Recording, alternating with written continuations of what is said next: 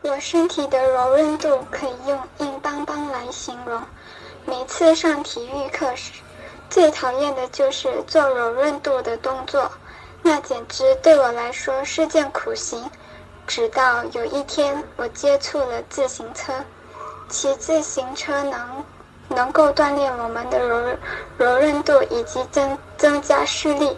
骑自行车的途中，可以观赏到周围的风景。这样能够培养我眼睛的灵活性，还能拥有眼观六路而听八方的能力。时常转眼珠很利于提高视力。观赏风景时转眼珠对视力也有好处。自从我开始骑自行车后，我的身体也不像往常那样硬邦邦，视力也变好了，也不会时常肚子疼了，因为有在运动。你还在等什么？那么炫酷的自行车，你还不把它带回家吗？马上拨打热线零幺二三四五六七八八，立刻把它带回家。等你坐上这辆自行车，你就是这条街最靓的仔。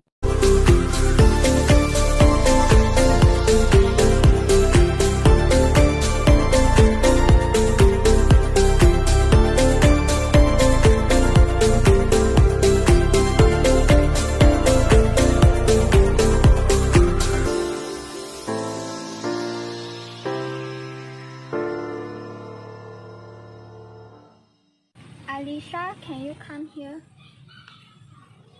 Hi, Grandma. What's with the bike? This is your birthday present.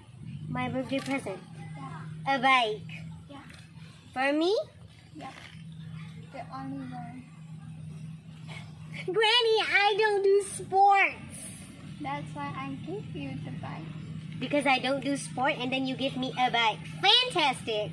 Because I, I want you to be healthy. Doesn't mean I'm fat. I need to fit myself using a bike. You're just wasting your money. I'm not wasting my money. I know that you will love, you will love it. Okay, I appreciate it. Thank you, Granny.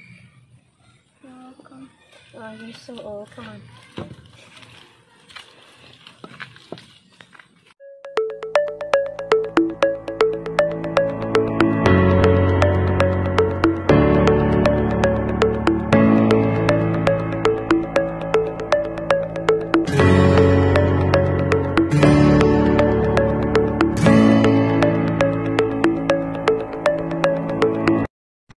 君と全部の季節通りかかりたい天がどこかやって新鮮な恋を君のそばにずっとこのままいる